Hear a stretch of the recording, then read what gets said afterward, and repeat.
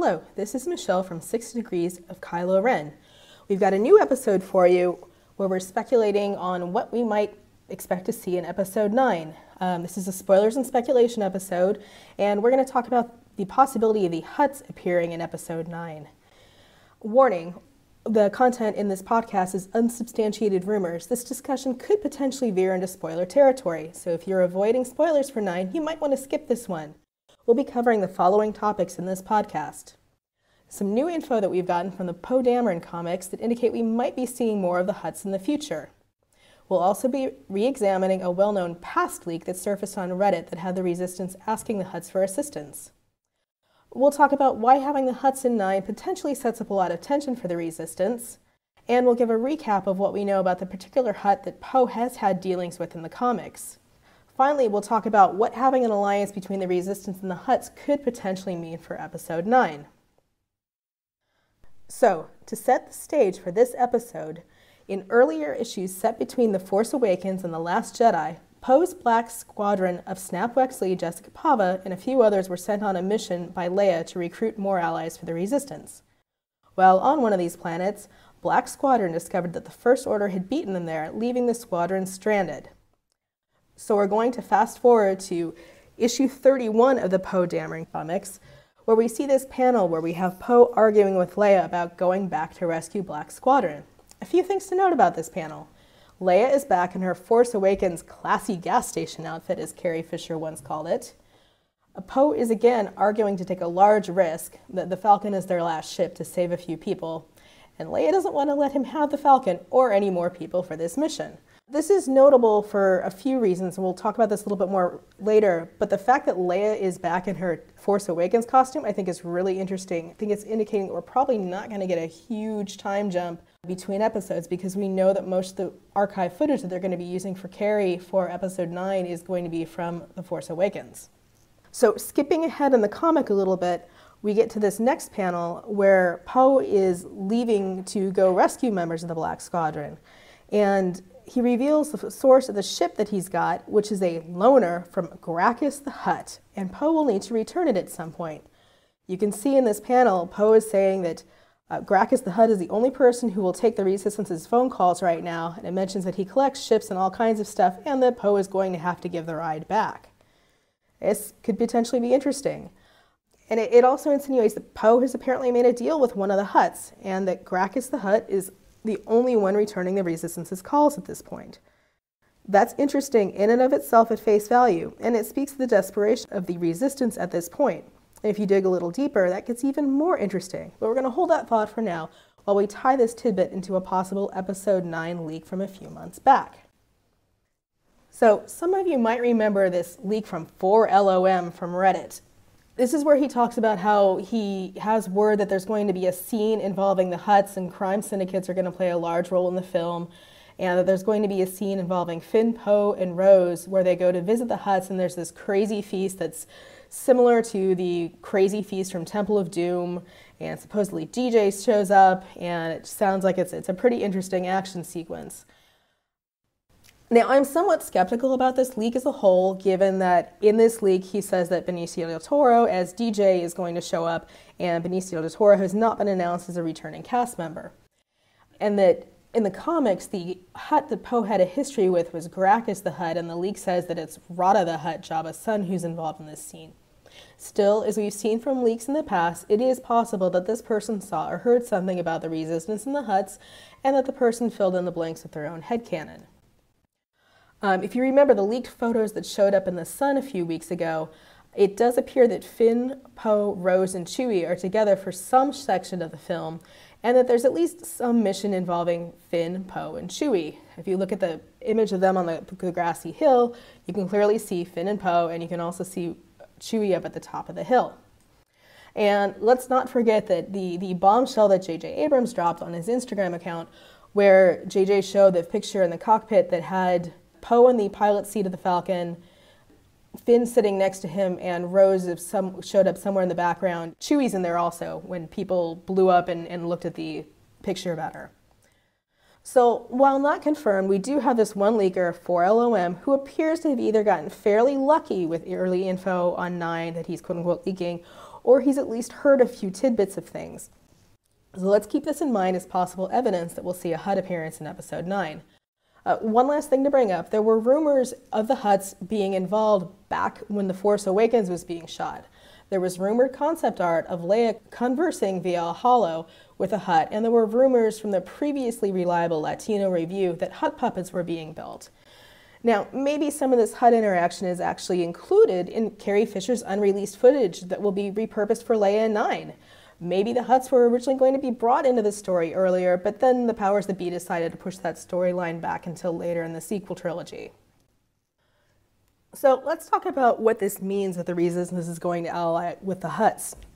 The Resistance attempting to ally with the Hutts in Episode 9 is hugely significant. First of all, the Hutts have a long history in Star Wars in canon as crime lords, and there's nothing indicated that they should be trusted.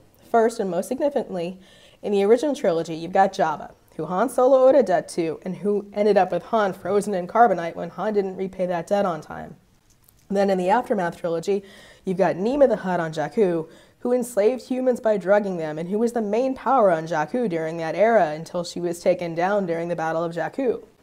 In fact, just as a little side note, Niima Outpost, where Rey had her dealings with Unkar Plutt, was actually named after Niima the Hutt. And in talking about the resistance's ta- tactics, in a recent interview with USA Today, Oscar Isaac even acknowledged that we should be questioning Poe's actions. In episode 9, the resistance would be in a situation where they'd be more like guerrilla fighters than an organized army. And here's the quote You want to get people to question him as opposed to have some sort of easy answer for, like, yeah, yeah, he did the right thing. He was a hero. What's the cost of this stuff? Isaac says during an interview for his new thriller, Operation Finale. In the battle against the evil First Order, Isaac thinks that it's easy to forget that the resistance are guerrilla fighters, adhering closer to something like the Revolutionary War fighters or even the guerrillas in Cuba, with Che and Fidel and all these guys living in the mountains, coming down to do some attacks and going back to, and trying to hide from the Empire of the United States. It, it's kind of ragged at this point. Anyway, it's been established in pretty much every piece of canon material that they appear in that the Hutts are bad news. They are not a species to be trusted, and the Resistance is clearly running out of options if they're turning to the Hutts for help. On top of that, there's one very prominent authority figure within the Resistance who I just can't see approving of an alliance with the Hutts. And that is Leia Organa, who was once captured and enslaved by Jabba the Hutt and ultimately able to strangle Jabba to his death with her own chains. This act earned Leia the affectionate nickname the Hutt Slayer in some circles in the galaxy. In fact, in Claudia Gray's Bloodline novel, there's a plot point where there's essentially a snuff film of Leia killing Jabba that's circulating around underground circles, and it's considered a valuable thing to own. We know that Leia doesn't like the Hutts, and the Hutts don't like that this video existed. I can't see these two factions voluntarily working together in Episode 9 without some serious issues. I'm going to read a little excerpt from Bloodline here. Huttslayer, Rinnrivin breathed in genuine reverence. This is what we call you among ourselves, and it's a far greater title than either senator or princess could ever be. The Niktos know you for the warrior you are, Huttslayer, and you will always have friends among us. Leia took the holocube, slipping it into the pocket of her cloak. Footage of her committing a murder, well, it was either the strangest diplomatic gift she'd ever been given or very close. There are other records of this around? Only a handful. The Hutts hunted down most of the copies and vendors. They didn't want proof of their own vulnerability to circulate. As you can see, however, I have ways of getting what I want. So, going forward in the future now, let's talk about Grakkus. So, if that's Jabba and the Hutts in general, do we know anything about Grakkus the Hutt, the Hutt that Poe borrowed the ship from? It turns out that Grakkus has made quite a few appearances in various Star Wars comic series over the last few years, and it was possibly bad news for the Resistance, Grakkus sounds like a pretty shady guy. I'm going to give a quick summary of the plotlines that Grakkus has been involved in in the canon comics. The first one involves capturing Luke Skywalker. And I've got a quote here from Grakkus saying, It appears you will make a fine addition to my collection after all, but I'm not. What you are, dear boy, is the last Jedi, and now you belong to me. Okay, first off, in a comic that came out back in 2015, at some point shortly after A New Hope in the Star Wars timeline and well before The Empire Strikes Back, Luke Skywalker found himself captured by Grakkus the Hutt, who wants to add Luke to his personal collection of Jedi artifacts. He ends up forcing Luke to fight in an arena duel, billing Luke as the last Jedi. The duel itself ends up being cut short when Imperial forces attack the arena, and ultimately they end up taking Grakkus into custody. And Grakkus is then kept in a prison city for approximately 30 years. During his time in the prison city, Grakkus, of course, manages to reform his own crime syndicate and he rises to power within the prison. If you fast forward to the time leading up to The Force Awakens, in the next series of comics, Poe and his Black Squadron break into the prison city in hopes of bartering with Grakkus, who apparently had some knowledge about Lor San Tekka's whereabouts. There's also a First Order officer at the same time that Grakkus had a friendly history with, who was also staying in Grakkus's compound. And Grakkus ends up playing Poe and the First Order off of each other, making it clear that he'll give Lor San Tekka's information to whoever can break Grakkus out of prison. Um, now, Poe ends up being the one to break Grakkus out of prison in this comic, and when Grakkus tries to renege on the deal, Poe strong arms Grakkus into giving up the Lor San Tekka data in exchange for the hyperspace coordinates that Grakkus needs to actually get away from the prison planet. The next time that Grakkus appears in the comics, it's in Poe's aside that's mentioned earlier in the podcast of how Grakkus was the only one returning the Resistance's calls, and who apparently also loaned Poe a ship to rescue the stranded survivors of Black Squadron. So, what does this all mean for Episode 9? I, am going to just be honest here. I would love to see an appearance by the Hutts in Episode 9, if for nothing else than the sake of the dramatic tension that they promise. Let's read through this summary on Grakkus's carry that came from Wikipedia. Grakkus displayed a selfish streak and was solely concerned for his own well being and safety. He resented his long imprisonment and sought every opportunity to escape. Grakkus had a habit of breaking deals with even friends like Terex, who was the First Order officer, at his own whim. Despite breaking the deal, Grakkus believed that his old friendship with Terex would last. He underestimated Terex's vindictive and ruthless nature. Grakkus liked Terex because of his criminal streak and despised good guys like the Resistance pilot Poe Dameron and his Black Squadron. After Poe outmaneuvered Terex, Grakkus was savvy enough to accept Black Squadron's offer to help him escape. Grakkus's selfish streak manifested again when he expressed indifference to Terex's attacks on the Megalox Beta space station and shuttles. Now that's the prison planet. He was willing to have other sentient beings die if he benefited from the situation. Poe exploited Grakkus's selfish nature by withholding access to the hyperspace coordinates until he provided the necessary information on Lor San Tekka. Okay, now does Grakkus sound like someone who the Resistance can trust? I know that I've seen some speculation online that it would be cool to see the Resistance funded by or otherwise allied with the Hutts. But I gotta tell you, I don't think that the Hutts are getting a redemption arc. First, Leia isn't going to like a deal with the Hutts. The Hutts have never been presented in any canon source as a species that can be trusted. Leia hates the Hutts, and the Hutts hate Leia. She's the Hutt Slayer. They hate that she made them appear weak to the point where they used their power and influence to try to get a hold of all the copies of that Huttslayer hollow that they could. Grakkus himself sounds like he could have a beef to pick with Poe over being strong-armed into giving up Lor San Tekka's information, although he apparently did lend Poe a ship at some later date. But the fact that it's being left open-ended, with Poe still needing to return the ship, opens up the possibilities of future dealings between these two. What I'm hoping to see in Episode 9 is an appearance by the Hutts that comes back to bite Poe and maybe the Resistance in the ass. If the Resistance as a whole visits Grakkus, is he just going to let Leia walk away? What about Rey, given he tried to collect The Last Jedi previously with Luke Skywalker? Now, I realize that this is probably somewhat far fetched speculation because it all comes out of the comics, and we've seen very little from the comics and the books make it into the movies so far. But I think that the groundwork has absolutely been laid for the resistance to be double crossed or ambushed in their potential dealings with the Hutts.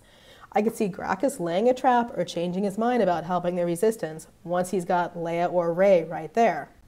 And if Leia is in danger, I would love to see that being the spark to Ben Solo finally making the right choice about something. You know that we're all big Kylo Ren redemption fans here at Six Degrees of Kylo Ren, so we're going to tie that angle into nearly any speculation, but I, I think that this has some really good storytelling potential. Remember, Ben couldn't fire on Mommy from his TIE silencer when she was on the bridge of the Raddus, so I suspect that Mommy being endangered by the Hutts isn't really going to go over very well with the current Supreme Leader. Perhaps this could be the catalyst for our boy to finally do something selfless and to save his mother. You know that Ben had to have hated the fact that his mother had been enslaved and treated like a trophy by the Hutts in the past. He's not going to let that happen again. And if it's not Leia who's in danger, although my money would be that it's on Leia, there's something important in her arc for Disney to bust out the archival footage. when they had previously said that they wouldn't initially after Carrie Fisher's death. But if not Leia, what about a certain scavenger whose life Ben had actually saved in the past? Since he couldn't have Luke 30 years ago, who's to say that Grakkus the Hutt wouldn't have his sights set on collecting the current Last Jedi, who happens to be Rey? I'd also think that if she fell into the Hutt's hands, the situation wouldn't sit well with Ben, even if he and she are currently on a break after she closed the door on him on Crait. And if Ben comes to anyone's rescue against the Hutts, it's going to be a selfless act on his part and essentially make him a traitor, or even more of a traitor, to the First Order. Whereas saving Rey in The Last Jedi opened up the opportunity for him to seize power and become Renperor, if he saves Rey or Leia in Episode 9, he's likely going to have to surrender that power in order for the woman or women that he loves to live.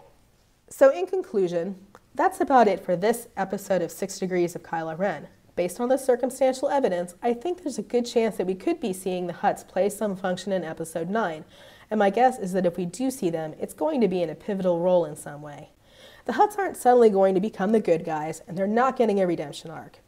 At best, they'll be helping the resistance for their own gain in some way. At worst, and this provides more dramatic potential, they're going to end up endangering Leia, Rey, or the resistance as a whole. And if that happens, I can hardly think of a better way to get the audience cheering for Ben Solo's redemption than for him to swoop in and save the day.